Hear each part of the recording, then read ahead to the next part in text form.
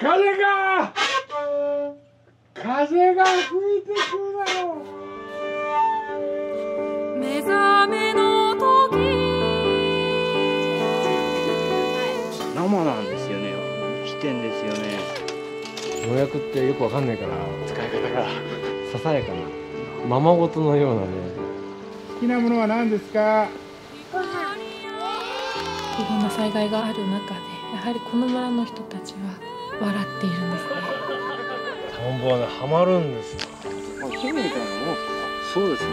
私のキャンパスのようなもんだね。みんな借り物だけど。